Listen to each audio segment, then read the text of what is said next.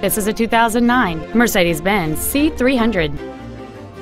It has a 3.0-liter six-cylinder engine and an automatic transmission.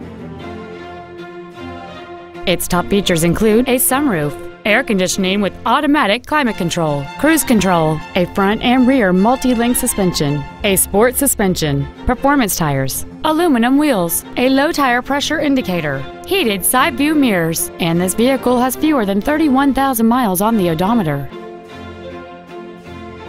This Mercedes-Benz has had only one owner, and it qualifies for the Carfax buyback guarantee.